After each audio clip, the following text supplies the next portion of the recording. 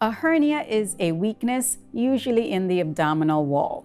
They can be located at the umbilicus or the groins.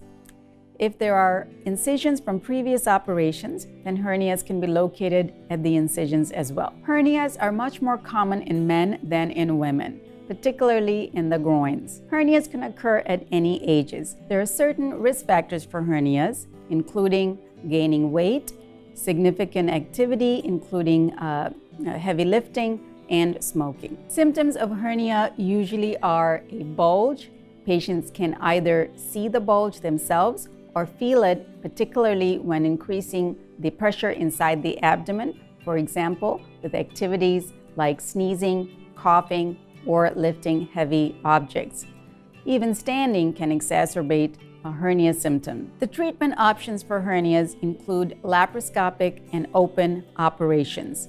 In either case, the operation is an outpatient operation where patients come in the day of the operation, have the operation, and then go home the same day. Your surgeon can determine whether an open or a laparoscopic approach is the best option for your type of hernia.